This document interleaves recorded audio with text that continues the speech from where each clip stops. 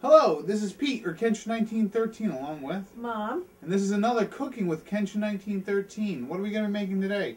uh, we're making a lemon meringue pie. Oh. Kind of semi homemade. Mm-hmm. Okay, first off, we're going to um, show you all of our ingredients. We're actually using a My-T-Fine pie filling. It's a lemon filling. Um, we're using um, pie dough. Store bought pie crust. Store uh, bought. You could Yeah. even buy the ones that are frozen and the pie uh, is Yeah. already made. The the, the crust. Mm-hmm. Um, two eggs, Mm-hmm. some water, Yep.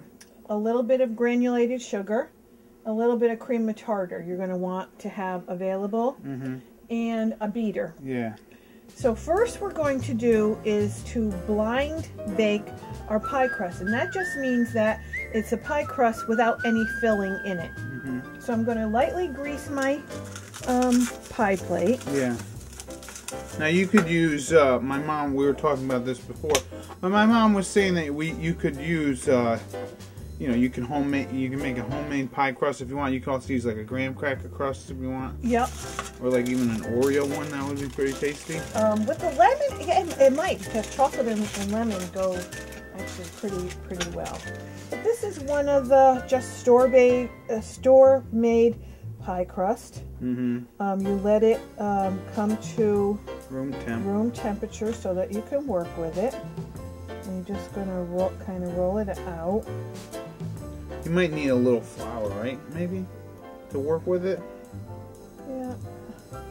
Um, not so much flour. Sometimes just um, this may not have been out quite as long, and so it breaks. It's breaking up a little bit, but that that's not going to cause us any kind of problems. So we're going to get this into our pie plate, Mm-hmm. and we're going to fit it into our pie. Okay. One thing you're gonna want to do is set your oven at 350 degrees. or whatever temperature um, Temperature. will be on the yeah, whatever temperature the pie The- would be at. Yeah. And so we're just crimping around the edges. Yeah. This, I have to tell you, this here, we should, probably should have left it out a little bit longer because it's a little stiff working with it. But it, it will be fine. Yeah. So just follow your directions.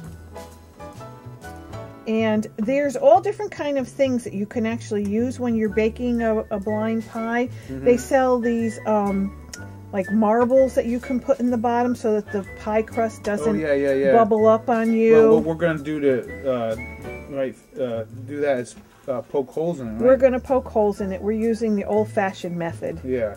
Um, they even have um, like a second layer of, a- of a pan that you can put in, yeah, like yeah, in the yeah. middle. I've seen Um, that. So And that it put, won't. And then you put like beans on it. and yeah. Yeah, I've seen that. So we're just, it's nothing, this is nothing fancy. Yeah. And we're just going to poke some holes in it so that when it's cooking, it won't blow up. Mm -hmm.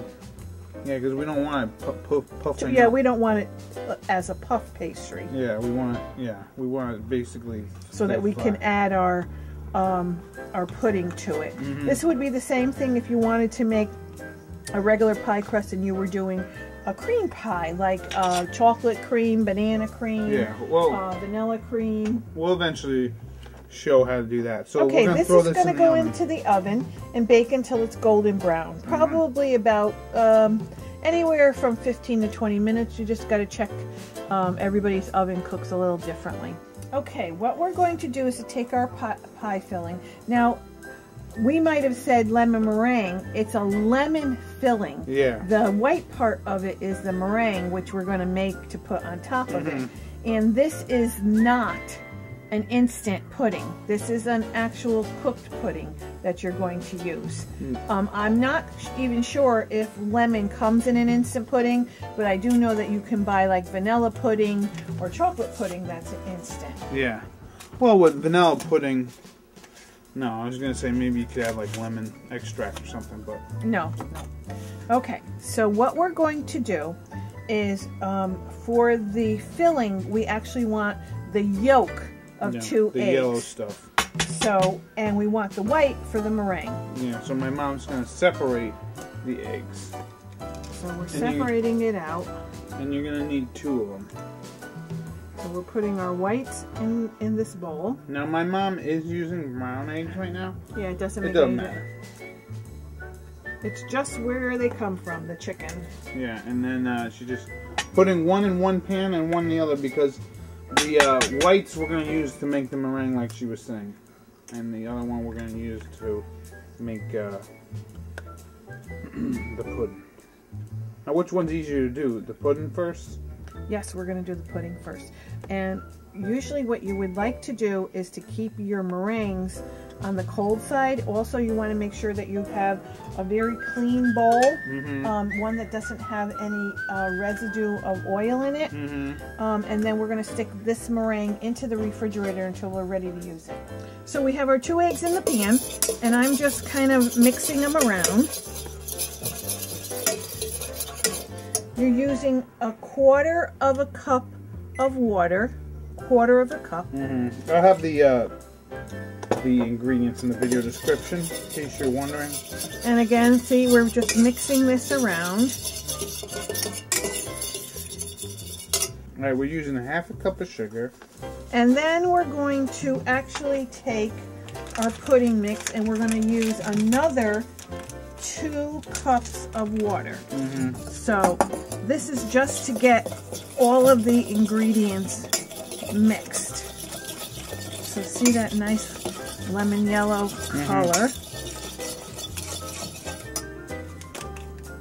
We're putting our pie crust mixture, Yeah, a pie, pie filling. pie filling mixture in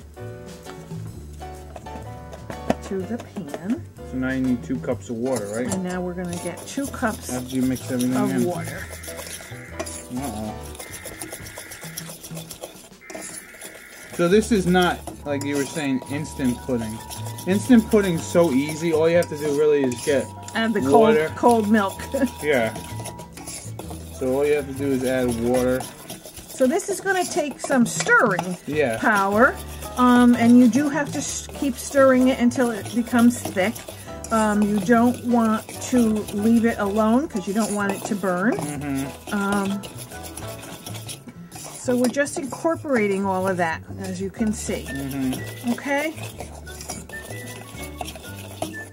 And you want to get all the lumps out, or when you're that, stirring? that that will come Yeah. even when you're um, when you're boiling it. Okay. Okay, because it comes to a nice rolling boil. Mhm. So let Now- me get our two cups of water. Now, uh, I got one question for you.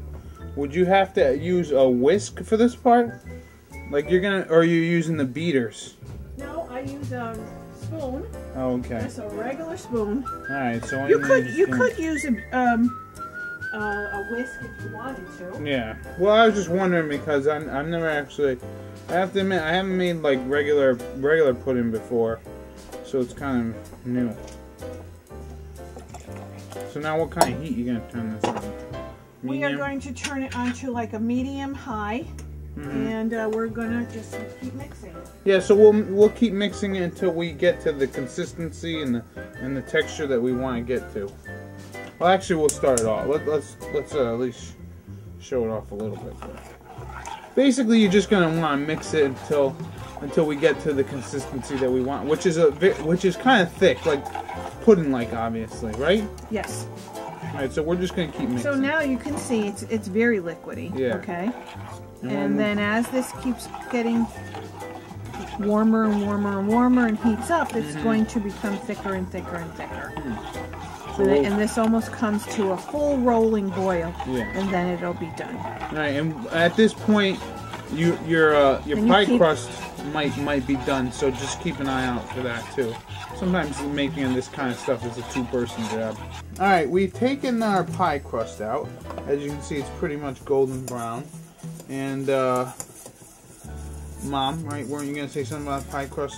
Yeah, the pie crust, we were talking about um, doing, you know, multitasking, but you can make your pie crust well in advance and, Yeah. just, and just leave it cooling on your counter and then have your uh, uh, cream Yeah. ready to go in.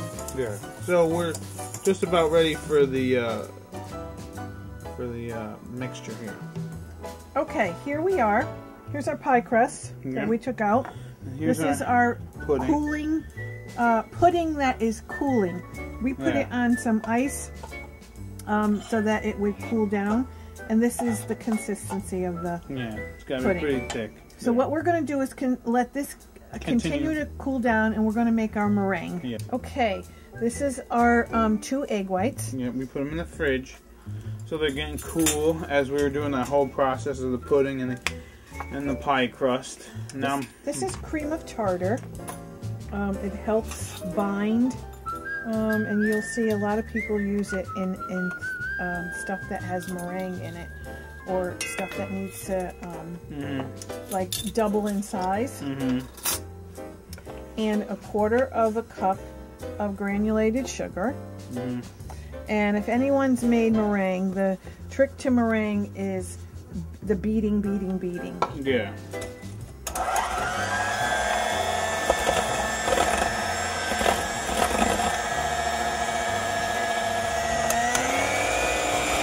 So as you can see, it's nice and frothy.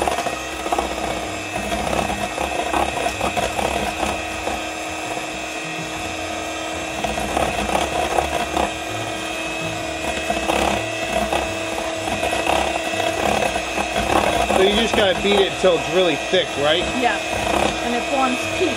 Yeah. So we'll be uh, right back when we do that. Okay, this is this looks creamy, but this is a stiff peak. You see when it does that?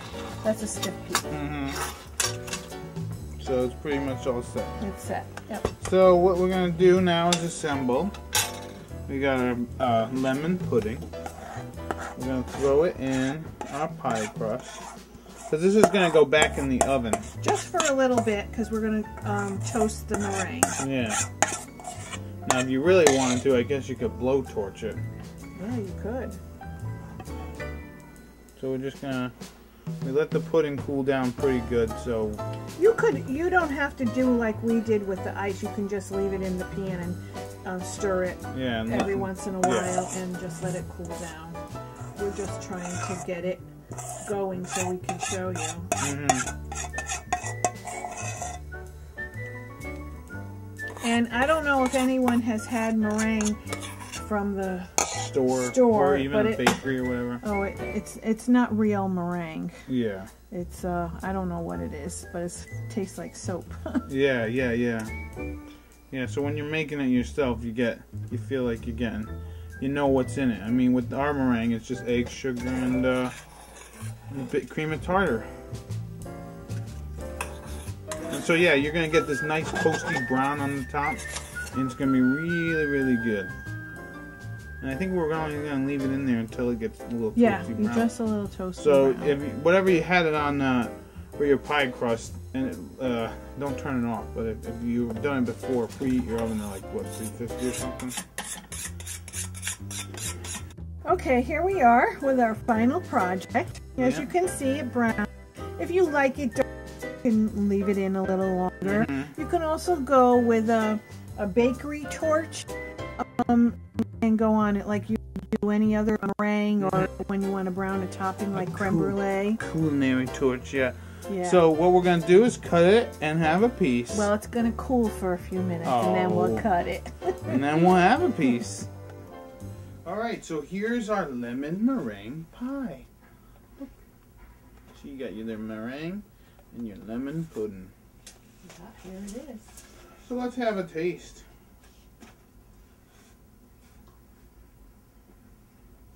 Hmm.